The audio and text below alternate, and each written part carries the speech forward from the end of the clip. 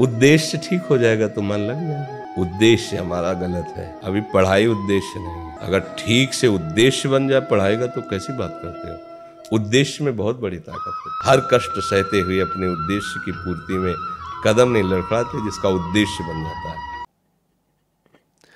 आज मैं सबसे पहले शुरुआत करने वाला हूँ आरव की कहानी से। आरव कौन है?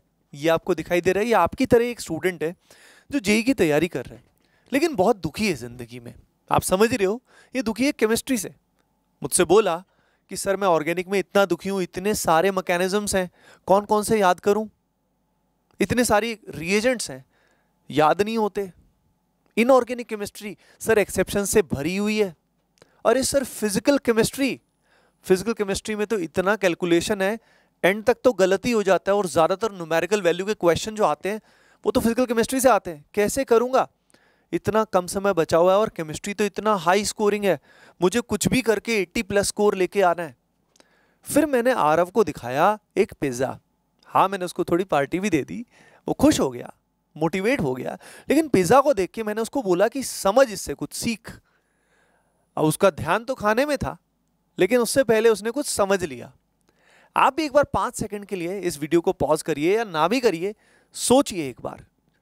How can you relate your strategy of chemistry to pizza वैसे मुझे पर्सनली पिज़्ज़ा बहुत बहुत पसंद है.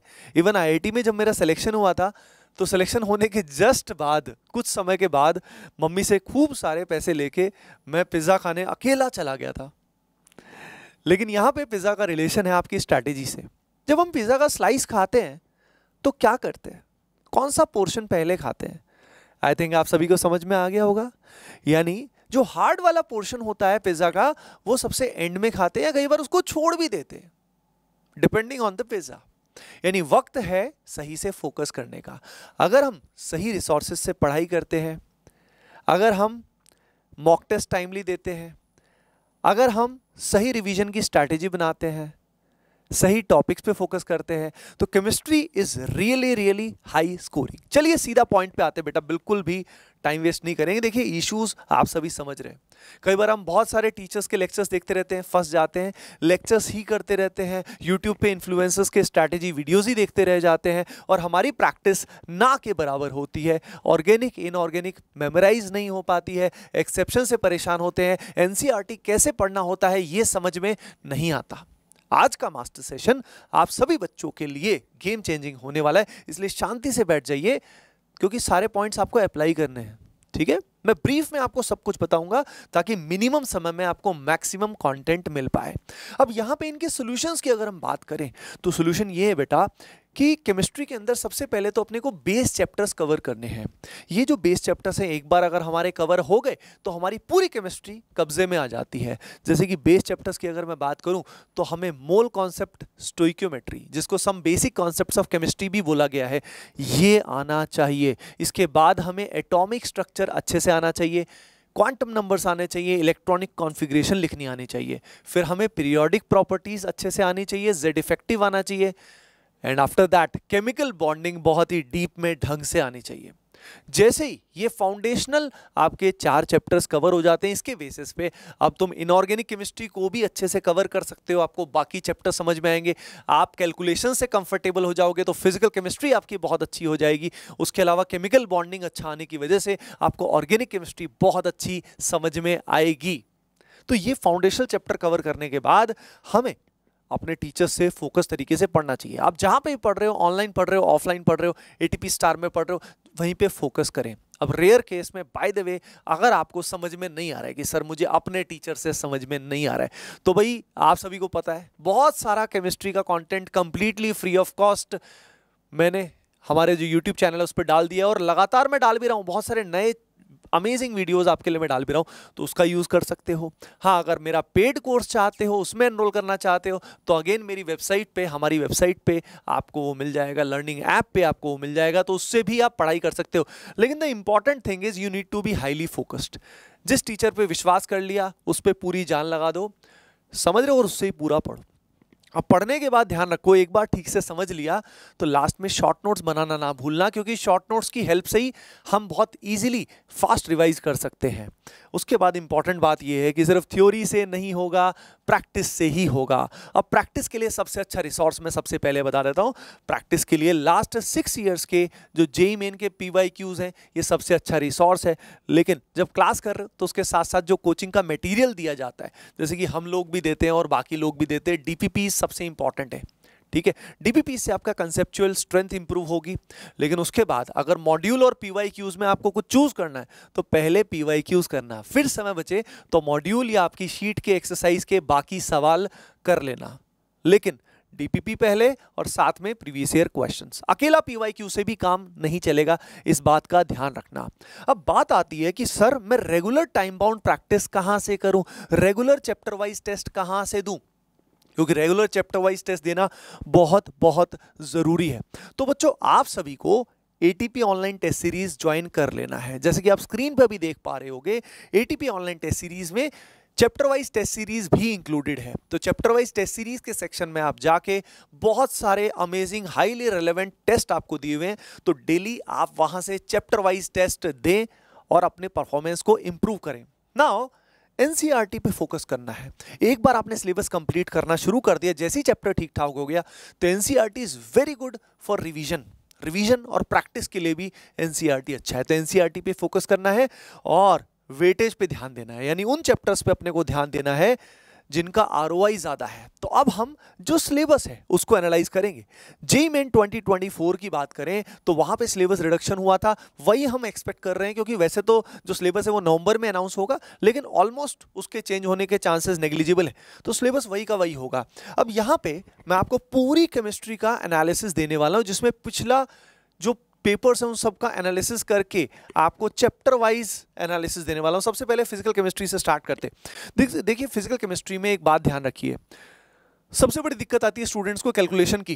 तो इसके लिए एक वीडियो मैंने बनाया है कैलकुलेशन हैक्स वाला। डिस्क्रिप्शन में लिंक दिया हुआ है, उसको आप देख लीजिएगा। उससे आपको आइडिया लग जाएगा कि कैलकुलेशंस पे मास्टरी कैसे करनी है और कैलकुलेटर का यूज़ नहीं करना है। जो भी टीचर रिकमेंड करते हैं आई डोंट नो क्यों करते हैं, लेकिन जो भी इन जनरल अच्छे टीचर्स होते हैं, वो कैलकुलेटर कभी रिकमेंड नहीं करते हैं। अब यहाँ पे जो पहला चैप्टर है मोल कॉन्सेप्ट से रिलेटेड अगर मैं इसकी खास बात बताऊँ तो बेटा इससे एक से दो क्वेश्चन नॉर्मली आ जाता है।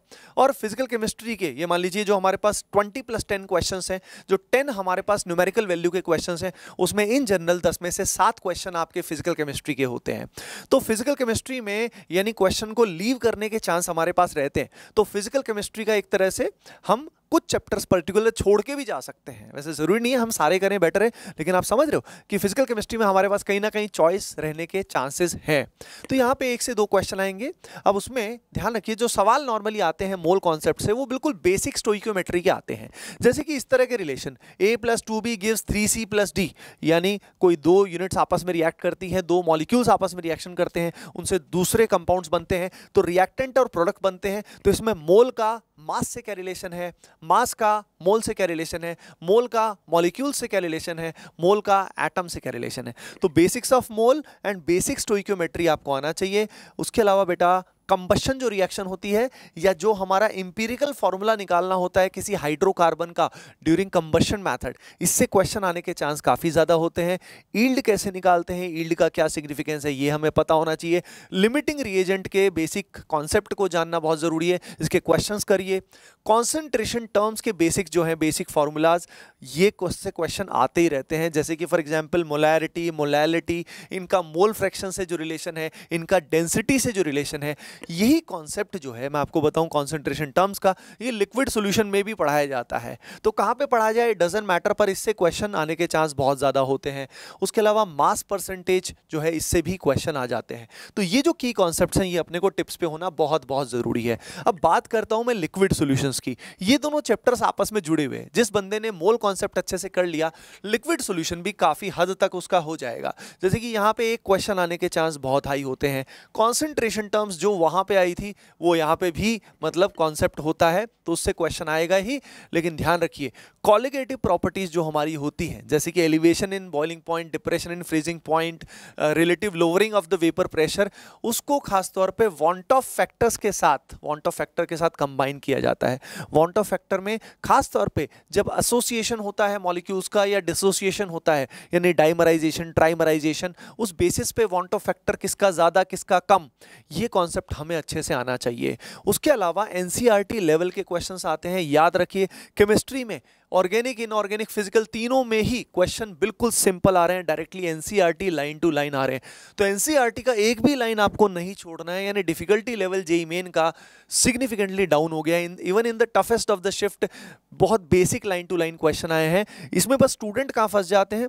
कई बार क्वेश्चन यूजेस से आ जाते हैं या बिल्कुल चैप्टर के एंड से आ जाते हैं और स्टूडेंट्स ने वो किया नहीं होता। इसलिए एन को हमें बिल्कुल ढंग से कवर करना है। अब इसके बाद हम अगले चैप्टर की बात करें एटॉमिक स्ट्रक्चर बच्चों एटॉमिक स्ट्रक्चर की अगर बात करें तो एक क्वेश्चन तो आना इससे तय है। यहाँ पे खास तौर पे सवाल आते हैं या तो क्वांटम नंबर से क्वांटम नंबर्स में, जैसे कि फॉर एग्जांपल किसी इलेक्ट्रॉनिक कॉन्फ़िगरेशन के लिए या किसी एटम के लिए right set of quantum numbers कौन से हैं? रेडियल प्रोरिटी कर्व्स जो होते हैं साई या साई स्क्वायर का क्या सिग्निफिकेंस होता है? इलेक्ट्रॉनिक कॉन्फ़िगरेशन हमें लिखना आना चाहिए, जैसे कि क्रोमियम में कॉपर में। अच्छा जो भी बच्चे केमिस्ट्री में बेस्ट करने वाले हैं, सभी बच्चे। एक काम ज़रूर करना है, फुल जोश में लाइक कर देना है और कमेंट सेक्शन में केमिस्ट्री ओपी लिखना है। सभी बच्चों को, जो भी केमिस्ट्री में 80 प्लस लाने वाले केमिस्ट्री ओपी लिखना है, इसको बोलते हैं पावर ऑफ़ एफर्मेशन जो लिखेगा उसके आने के चांसेस वैसे ही बढ़ जाएँगे। तो सभी बच्चे लाइक करें और फुल जोश में कॉमेंट सेक्शन में ये ज़रूर लिख लेना वीडियो के बाद लिख लेना। उसके अलावा बोर थ्योरी में अगर हम बात करें तो बेसिक फार्मूला जो होता है, जैसे कि रेडियस हो गया एनएथ ऑर्बिट का, या वेलोसिटी हो गया, ये बेसिक फार्मूलाज हमें आने चाहिए energy of the nth orbit लेकिन खास तौर पे जो क्वेश्चंस आने के चांस होते हैं, वो आते हैं इलेक्ट्रॉनिक ट्रांजिशन से. इलेक्ट्रॉनिक ट्रांजिशंस में आप सभी जानते हैं वेरियस सीरीज़ बनती हैं वेरियस लाइंस बनती है, जैसे कि बालमर लाइमन पास्चन ब्रैकेट इन सबसे रिलेटेड क्वेश्चन आने के चांस काफ़ी हाई होते हैं। और डिब्रॉय वेवलेंथ की अगर हम बात करें, इससे भी डायरेक्ट क्वेश्चन आते हैं, इससे रिलेटेड कर्व्स के क्वेश्चन भी आते हैं। अब बात यह है कि अब इसके बाद जैसे कि हमारे पास केमिकल थर्मोडाइनमिक्स की बात करते हैं तो इसमें हमारे पास फ़र्स्ट लॉ है, इसके बाद, इसमें हमारे पास सेकंड लॉ ऑफ़ थर्मोडाइनमिक्स है। अब फ़र्स्ट लॉ और सेकंड लॉ में अगर हम देखें बेटा तो यहाँ पे एक क्वेश्चन दो भी आ सकते हैं, पर नॉर्मली एक क्वेश्चन तो पक्का है। इसमें फ़र्स्ट लॉ में जो हमारा बेसिक लॉ है, इसमें क्यू हो गया delta U change in internal energy work done जैसे कि वेरियस कंडीशन है, जैसे कि एडियाबैटिक कंडीशन होता है आइसोथर्मल कंडीशंस होते हैं। वेरियस कंडीशंस में इनकी वैल्यू कैसे निकालते हैं, ये हमें आना चाहिए। सीपीसीवी का रिलेशन आना चाहिए। उसके अलावा, अगर हम बात करें थर्मोकेमिस्ट्री का, ये पर्टिकुलर हिस्से से क्वेश्चन आ जाता है। वो है एंथैल्पी चेंज का कैलकुलेशन डेल्टा एच का calculation using bond energy right उसके अलावा एनसीईआरटी का थ्योरेटिकल पार्ट भी इसके अंदर आ जाता है कभी कभी लेकिन इसके चांसेस थोड़े कम रहते हैं। मेनली न्यूमेरिकल वैल्यू के क्वेश्चन ज़्यादा आते हैं। उसके अलावा अगर थर्मोडाइनमिक सेकेंड लॉ की बात करें तो डेल्टा जी का कॉन्सेप्ट हमें बिल्कुल क्लियर होना चाहिए कि कब वो ज़ीरो होता है स्पॉन्टेनिटी का कंडीशन क्या होता है, डेल्टा एस का डेल्टा जी से क्या रिलेशन होता है, उसके अलावा बेटा डेल्टा जी और के इक्लिब्रियम का क्या रिलेशन होता है वी मस्ट नो दिस अब बात करते इक्लिब्रियम इक्लिब्रियम में दो पार्ट हमारे पास होते हैं, ionic as well as chemical equilibrium अगर हम इसमें देखें बेटा तो इसमें एक से दो क्वेश्चन आने के चांस बहुत हाई होते हैं। अब ये जो पर्टिकुलर चैप्टर्स हैं, इसमें केपी और केसी का आपस में रिलेशन या कोई सीक्वेंस दिया हुआ है वेरियस इक्लिब्रियम्स का, और उसके बेसिस पे आपको फाइनल के इक्लिब्रियम निकालना है, वैसे क्वेश्चन भी बहुत ही कॉमन होते हैं। तो ये जो पर्टिकुलर क्वेश्चन हैं, ये केमिकल इक्लिब्रियम के रहते हैं प्लस ली चैटलियर प्रिंसिपल और उसका एप्लीकेशन उसकी थ्योरी एनसीईआरटी से डायरेक्टली हमें कर लेनी है। अगर हम बात करें हमारा आयोनिक इक्लिब्रियम भाई, बहुत टफ क्वेश्चन उससे नहीं आते। उससे डायरेक्ट फार्मूला बेस्ड क्वेश्चन आते हैं, जैसे कि बफर सोल्यूशन या हमारा एसिड बेस का कोई मिक्सचर है, उसका पीएच हमें निकालना है, या सॉल्ट हाइड्रोलिसिस हो गया। बच्चों direct question formula based question आने के इक्लिब्रियम से आते हैं। जो टफ क्वेश्चन एडवांस्ड में आते हैं, वैसे डीप क्वेश्चन जेई मेन में आप एक्सपेक्ट ना करें, बहुत ही सिंपल क्वेश्चन आते हैं। तो ये चैप्टर भी एक्चुअल में काफ़ी मतलब आसान है, कोई डिफ़िकल्ट नहीं है। बहुत ही हाई वेटेज चैप्टर की अगर हम बात करें तो बच्चों रिडॉक्स एंड इलेक्ट्रोकेमिस्ट्री मिला जुला के आप एक्सपेक्ट कर सकते हैं कि दो क्वेश्चंस तो आपके फिक्स हैं इस पर्टिकुलर चैप्टर से। यहाँ पे रिडॉक्स के अंदर बच्चों ध्यान रखना कि एक तो हमारा ऑक्सीडेशन नंबर निकालना या oxidation state reducing oxidation state निकालना बैलेंस करना। बैलेंसिंग से क्वेश्चन कॉमनली आते हैं। Law of equivalence, n factor हमें पता होना चाहिए। उसके अलावा अगर हम बात करें इलेक्ट्रोकेमिस्ट्री से तो इलेक्ट्रोकेमिस्ट्री में बच्चों ई सेल निकालना। यहाँ पे नर्स्ट इक्वेशन और उसका एप्लीकेशन से एक क्वेश्चन आना लगभग तय होता है ऑलमोस्ट उसके अलावा डेल्टा जी और ई e का आपस में क्या रिलेशन होता है? हाँ इलेक्ट्रोलाइसिस और कॉलरॉश लॉ के बेसिक्स से भी कई बार डायरेक्ट क्वेश्चन आ जाता है. लेकिन सबसे हॉटेस्ट अगर पार्ट में बोलूँ तो ये जो ऊपर का पोर्शन आपको मैं बता रहा हूँ, पहले तीन पॉइंट्स ये टिप्स पे कर लेना नॉर्मली इससे दो क्वेश्चन ऑलमोस्ट फिक्स होते हैं. तो अगर हम बच्चों फ़िज़िकल केमिस्ट्री में देखें तो एक और पार्ट बहुत ही आसान होता है, वो है केमिकल काइनेटिक्स जिससे एक क्वेश्चन आना तो पक्का तय है। केमिकल काइनेटिक्स एक इजी चैप्टर भी है, बहुत लेंदी चैप्टर भी नहीं है, जैसे इलेक्ट्रोकेमिस्ट्री रिलेटिवली लेंदी चैप्टर होता है। लेकिन कम से कम नर्स्ट इक्वेशन वाला पार्ट तो हमें कर ही लेना चाहिए। अब यहाँ पे केमिकल काइनेटिक्स में बच्चों, एक पार्ट तो क्वेश्चन जो बनता है, वो बनता है रेट लॉ से राइट? रेट लॉ कैसे होता है, कैसे निकालते हैं, जैसे कि वेरियस कॉन्सेंट्रेशन दी जाती है, उसके बेसिस पे रेट कांस्टेंट दिए जाते हैं और फिर रेट लॉ को निकाला जाता है। काफ़ी कॉमन क्वेश्चन उससे होता है। हाफ़ लाइफ जो होती है, उसका रेट कांस्टेंट से क्या रिलेशन है? रेट कांस्टेंट की जो यूनिट्स होती हैं और उससे हम ऑर्डर ऑफ़ द रिएक्शन कैसे निकाल सकते हैं? ऑर्डर और मॉलिकुलरिटी का जो बेसिक थ्योरी होता है, दोनों में डिफरेंस क्या होता है? एलिमेंट्री और कॉम्प्लेक्स रिएक्शन में क्या डिफरेंस आता है? ये हमें बेसिक्स आने बहुत ज़रूरी हैं। अब इसी का हाफ़ लाइफ का बच्चों रेडियो एक्टिविटी से लिंक करके भी क्वेश्चन काफ़ी स्ट्रांगली बन जाता है। तो रेडियो एक्टिविटी के बेसिक्स भी अपने को आने बहुत ज़रूरी है। प्लस साथ में आर एन इक्वेशन से बहुत ही सिंपल क्वेश्चन बन जाते हैं। राइट आर एन इक्वेशन से बहुत ही सिंपल क्वेश्चन बन जाते हैं और आर एन इक्वेशन के साथ साथ अपने को फ़र्स्ट ऑर्डर का डिफरेंशियल और इंटीग्रल फॉर्म आना बहुत ज़रूरी है। मेन बात तो ये है कि जितना प्रैक्टिस करोगे फ़िज़िकल केमिस्ट्री में, उतना ही स्ट्रेंथ आपकी बढ़ती जाएगी। तो फ़िज़िकल केमिस्ट्री को मैं समअप कर देता हूँ। देखिए फ़िज़िकल केमिस्ट्री में अगर हम देखें बच्चा तो फ़िज़िकल केमिस्ट्री में जो पहले दो चैप्टर हैं, ये तो आपको करने ही पड़ेंगे, हर हालत में करने पड़ेंगे। ये basic concept of chemistry you can't leave these two chapters at all right इसके बाद एटॉमिक स्ट्रक्चर भी यू कांट लीव किसी भी हालत में, ठीक है? तो अपने को तो खैर सारा ही करना है। उसके बाद याद रखिए कि ये जो पर्टिकुलर चैप्टर्स है ना, ये सारे के सारे करने हैं, बस इनके फॉर्मूलाज और एनसीईआरटी ढंग से कर लो, काम तुम्हारा हो जाएगा। पीवाईक्यूज करो एनसीईआरटी करो फॉर्मूलाज करो। बहुत ही डीप में घुसने की ज़रूरत नहीं है, काम इससे हो जाएगा। तो सारे चैप्टर्स हमें करने हैं। अब हम बात करें इनऑर्गेनिक केमिस्ट्री में। तो इनऑर्गेनिक केमिस्ट्री में सबसे पहले पीरियोडिक प्रॉपर्टीज़ की बात करते हैं। पीरियोडिक प्रॉपर्टीज़ से बच्चों, एक से दो क्वेश्चन बनते हैं, जिसमें डायरेक्टली अगर पूरी एनसीईआरटी की बात करूँ मतलब इनऑर्गेनिक केमिस्ट्री की बात करूँ तो इनऑर्गेनिक केमिस्ट्री में एनसीईआरटी इज़ गॉड मतलब एनसीईआरटी से करो लाइन टू लाइन करो। यहाँ पे सबसे पहला तो जो क्वेश्चन बनता है, वो बनता है इलेक्ट्रॉनिक कॉन्फिग्रेशन से। And position in periodic table दोनों का क्या लिंक है? उससे क्वेश्चन आने के चांस काफ़ी हाई रहते हैं। दूसरा होता है पीरियोडिक ट्रेंड्स जिसमें प्राइमरीली जेड इफ़ेक्टिव यानी इफ़ेक्टिव न्यूक्लियर चार्ज कैसे वेरी करता है लेफ़्ट से राइट जाते हुए या डाउन द ग्रुप जाते हुए कैसे वेरी करता है, उसके बेसिस पे हमारा जो आयनिक रेडियाई है एटॉमिक रेडियाई है आयनाइजेशन एंथेल्पी है, कैसे वेरी करती है, इससे क्वेश्चन बनते हैं। प्लस उसके अलावा ऑक्साइड्स का एक पैराग्राफ दिया हुआ है एनसीईआरटी में, जिसमें कौन सा ऑक्साइड हमारा न्यूट्रल होगा, कौन सा एसिडिक कौन सा बेसिक उससे भी काफ़ी कॉमनली क्वेश्चन आया जाता है। तो ये जो पर्टिकुलर पार्ट है, ये इतना इंपॉर्टेंट है क्योंकि पीरियोडिक प्रॉपर्टीज़ के साथ साथ जो पी ब्लॉक के काफ़ी सारे क्वेश्चन है ना पी ब्लॉक के काफ़ी सारे क्वेश्चन इसी से हो जाएँगे। पीरियोडिक प्रॉपर्टीज़ अगर बढ़िया से आती है तो पी ब्लॉक आपका ऑटोमेटिकली काफ़ी हद तक हो जाएगा।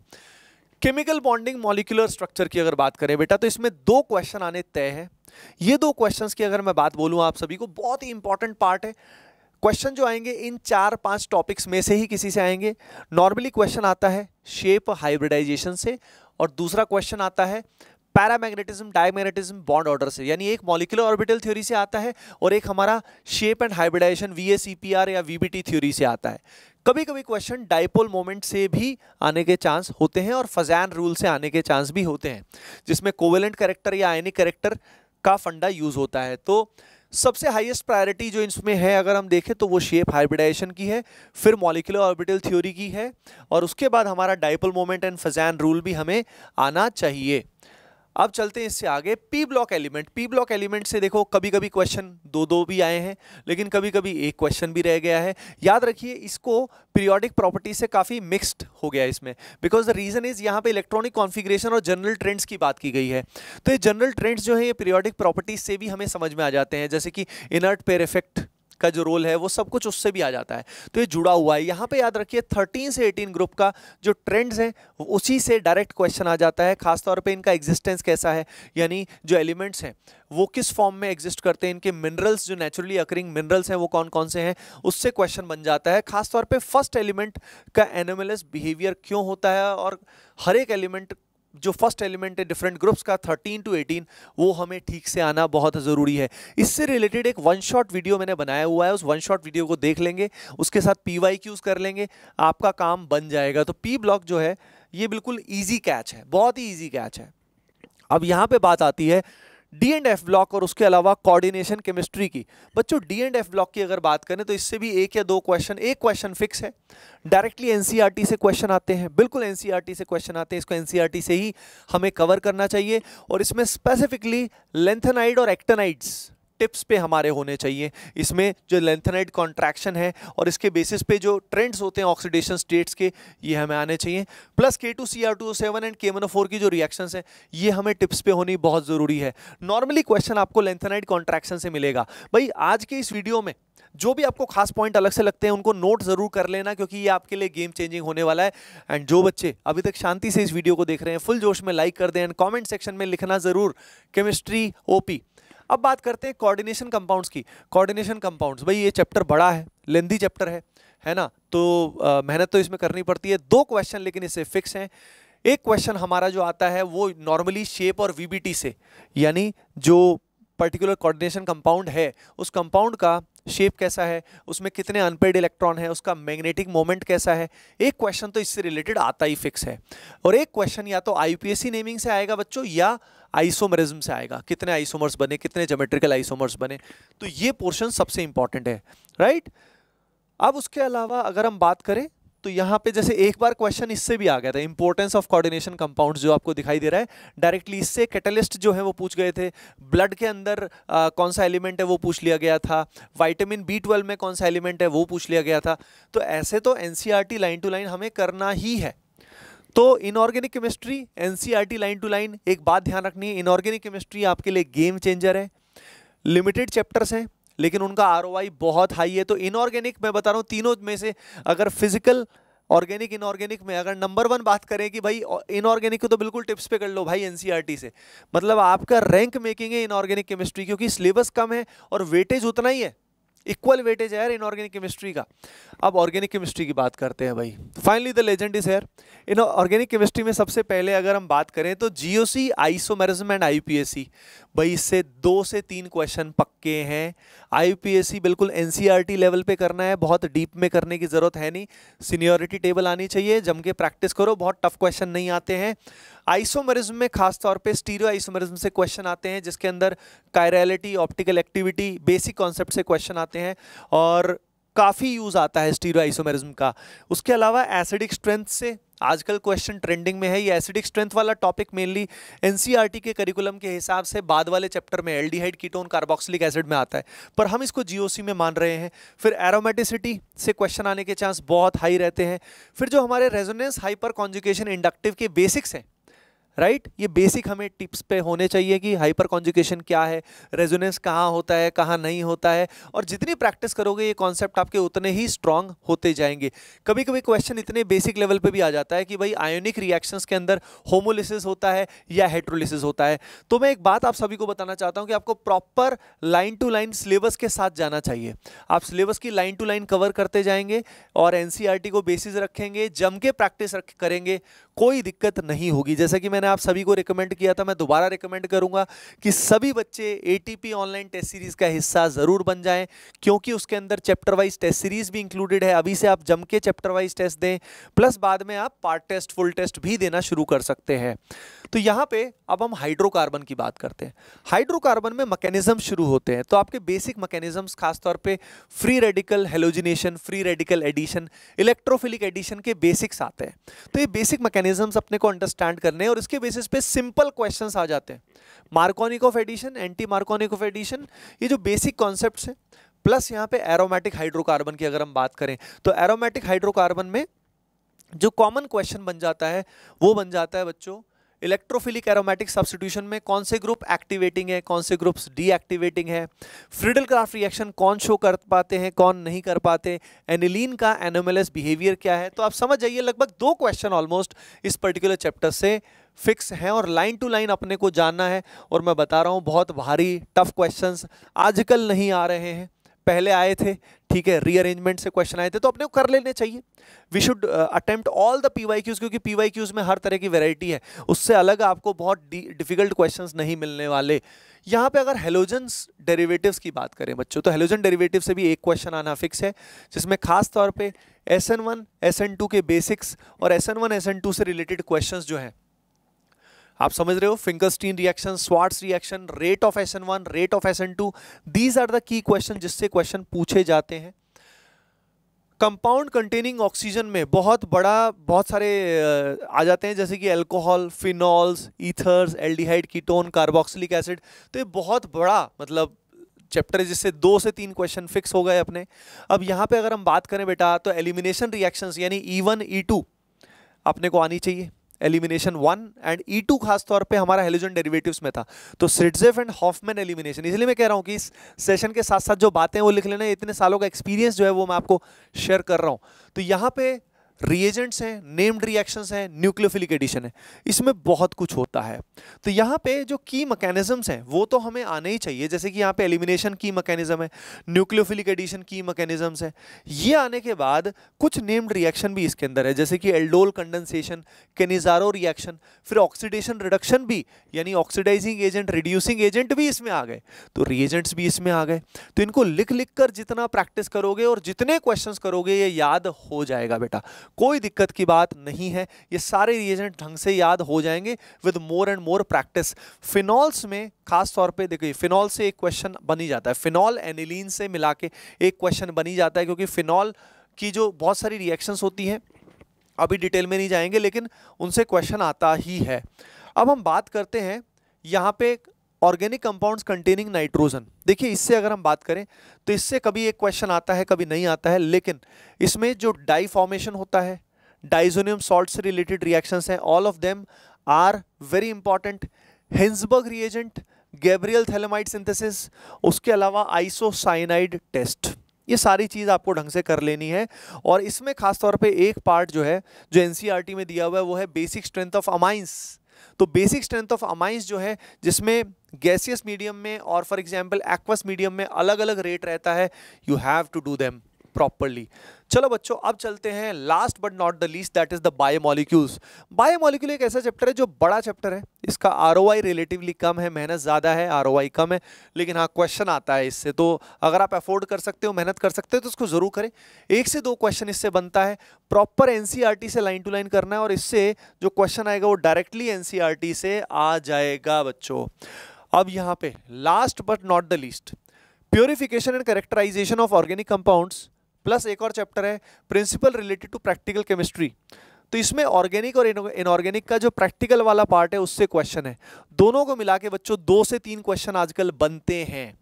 दो से तीन क्वेश्चन बनते हैं, लेकिन अगेन ये चैप्टर भी ऐसे हैं जिनमें मेहनत काफ़ी करनी पड़ेगी। आपको प्रॉपर एनसीईआरटी से पढ़ना है। एनसीईआरटी के क्लास इलेवन में ये चैप्टर है। उसके अलावा ये जो पर्टिकुलर आपको क्वालिटेटिव एनालिसिस की बात कर रहे हैं, जिसके अंदर जहाँ पे आपके वेरियस कैटायन एनायंस इनसे रिलेटेड टेस्ट हैं, अगर हम इनकी बात करें बेटा तो ये सारे के सारे जो पार्ट्स हैं, इनको करने में आपको मेहनत भी लगती है। लेकिन इसका सबसे स्मार्ट वे ये होता है कि पी वाई क्यूज़ के बेसिस पे इनको करो।